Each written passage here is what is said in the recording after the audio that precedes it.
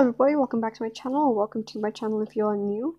Today I'm going to be showing you how to edit brushes or customize brushes in MediBang Paint.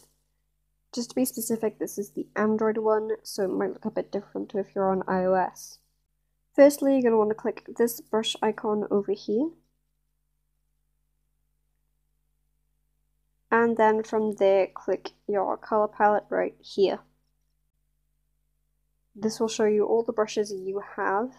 You'll probably have less than me if you're just starting out because I've downloaded a lot of them. To customize or change a brush, you're going to need to choose one first. So I'm going to change the watercolor one. You go here and then you press this setting icon.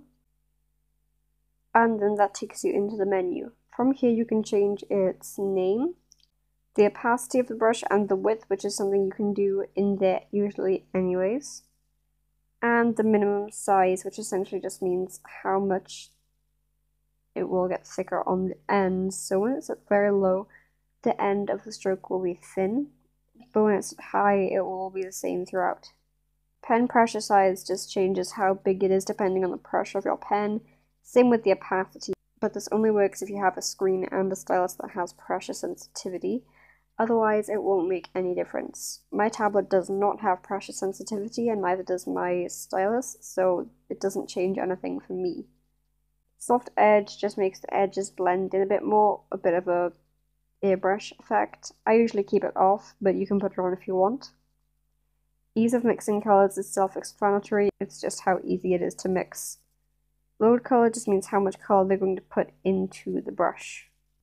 Then once you've edited all these as you want, you can just click set and it will have been changed. There is no way to revert this back to normal. The best thing you can do is to find that same brush.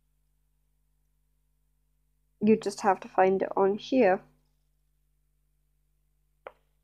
And then it's the same brush there.